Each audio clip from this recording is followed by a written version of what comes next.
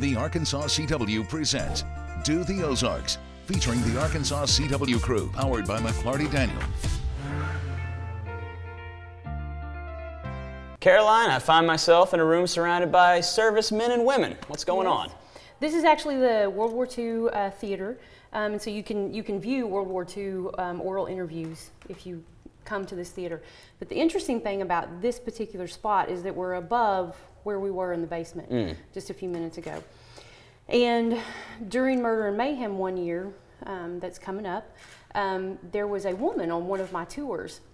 And, and I was giving the spiel and, and talking to her, and um, she kind of did that little shivery thing. And I said, Oh, it's scary, right? and the woman next to her said she's a medium. And I said, Oh, okay.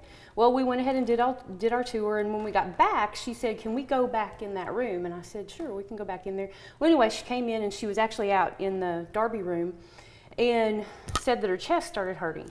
Well, Darby died from chest injuries from shrapnel, so you can find that out, you know, whatever, depends on what you believe.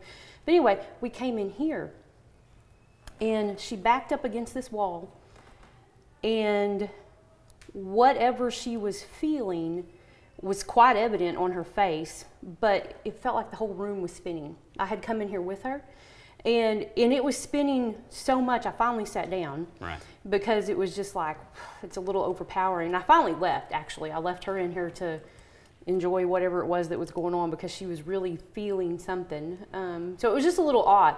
But what she said was, it's not this room; it's coming from below. So again, it's it's Right.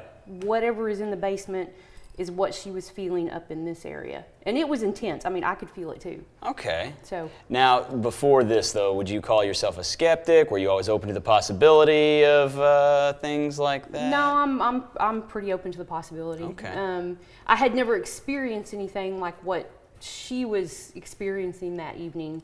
At that point, I had seen things and felt things, but not to that level, not to that degree. And and but hers was all about the fact that it was coming from from down below, is what she said, and that's kind of where we just were.